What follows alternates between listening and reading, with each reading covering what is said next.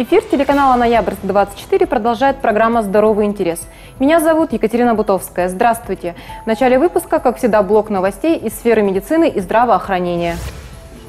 Ноябрьские и венгапуровские медики вытащили с того света 46-летнего мужчину. Плохо ему стало на трассе. Сначала за жизнь ноябрьца боролась фельдшерская бригада из Венгапуровского. Затем для дальнейшей транспортировки пациента в Центральную городскую больницу на место приехала скорая из Ноябрьска.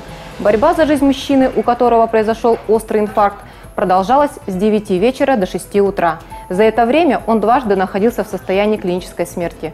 После многочасовой реанимации, производившейся в Ингапуровском, состояние пациента стабилизировалось, что позволило перевести его в стационар ЦГБ.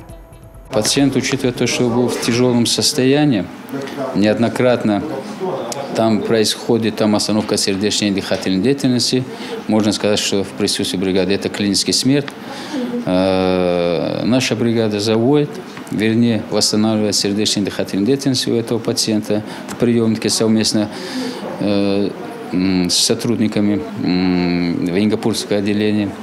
Э, и что могу добавить? Так-то лечение или оказание первой медицинской помощи было проведено в полном объеме. Это все-таки благодаря слаженной действию Венгапурской бригады скорой медицинской помощи, сотрудники отделения э, и наша э, бригада.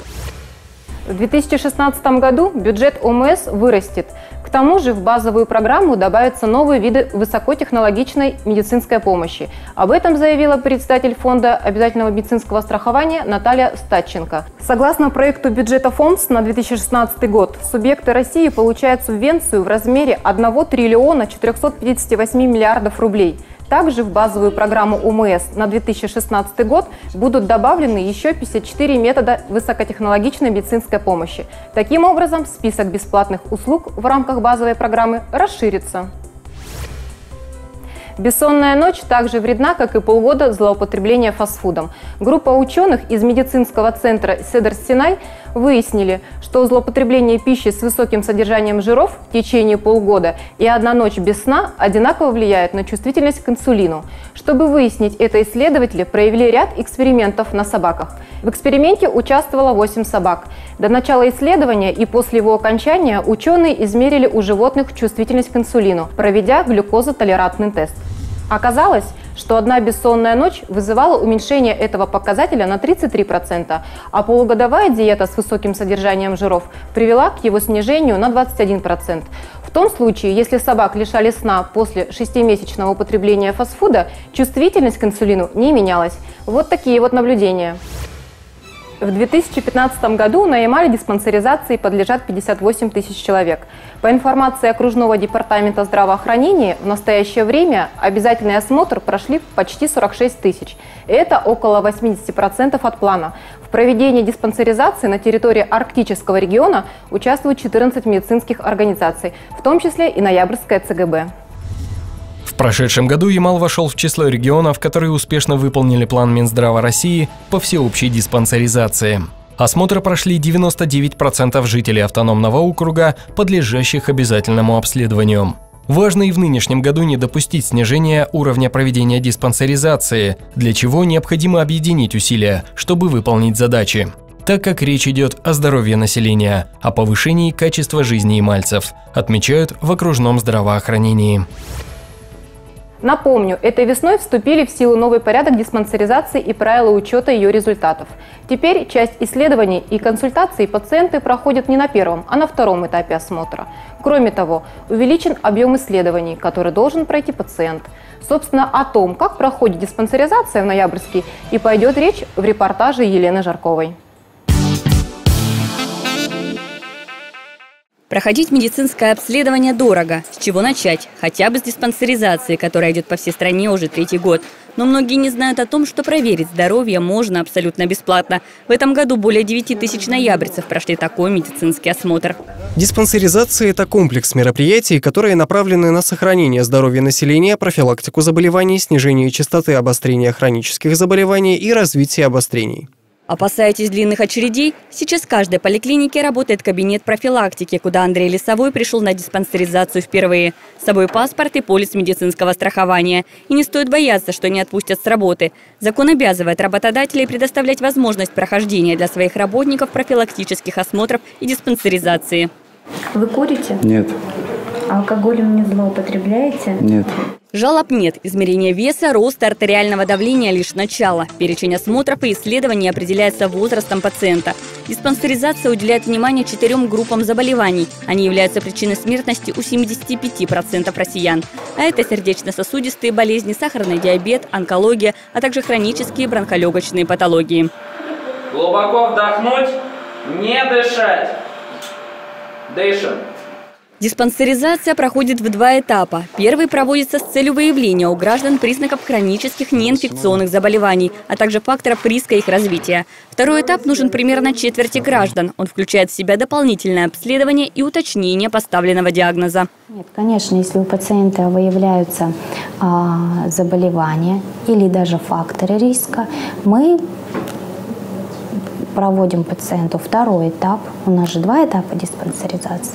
Вот когда пациент приходит к нам на второй этап диспансеризации, мы уже проводим с ним углубленное профилактическое консультирование для коррекции его имеющихся факторов риска или направляем по результатам а, первого этапа к узким специалистам. Сегодня только каждого третьего можно назвать абсолютно здоровым. Медики напоминают, диспансеризация – самое элементарное, что можно сделать для своего здоровья. Чем раньше поставить диагноз, тем больше шансов на полное выздоровление. И сегодня в нашей студии Альфина Маржухина, исполняющая обязанности заведующая отделением медицинской профилактики. Здравствуйте, Альбина Ишатовна. Скажите, пожалуйста, кому полагается бесплатная диспансеризация и является это мероприятие обязательным?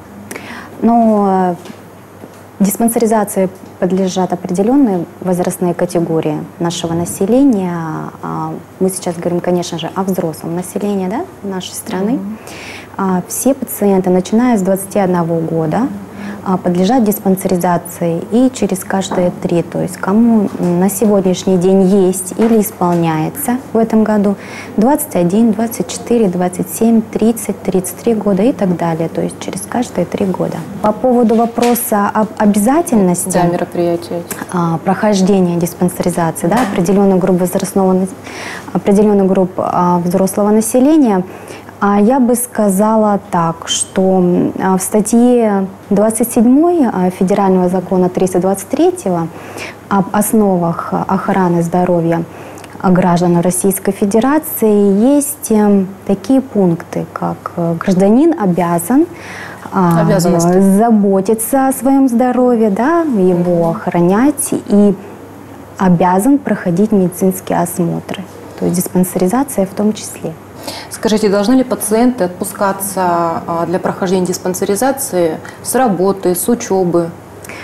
А, конечно, для этого у нас в статье 24 Федерального закона 323 есть пункт, а, в котором звучит о том, что работодатель должен, а, во-первых, создать все условия для прохождения а, медицинского осмотра, диспансеризации в том числе, и беспрекословно и беспрепятственно отпускать своих работников для прохождения. Скажите, пожалуйста, осмотры каких врачей входят в диспансеризацию? Ну, в диспансеризацию по новому приказу у нас, кроме как осмотр терапевта, больше осмотров, а никаких узких специалистов на первом этапе диспансеризации не требуется. То есть осмотр терапевта, лабораторные и инструментальные методы исследования. Скажите, пожалуйста, если вот э, пациент э, уже ранее обследовался, сдавал какие-то там УЗИ, кровь, еще какие-то обследования, он имеет право отказаться при прохождении диспансеризации от этих обследований? Конечно, мы учитываем а, при прохождении диспансеризации все те обследования, которые необходимы пациенту по его возрастной категории в течение года.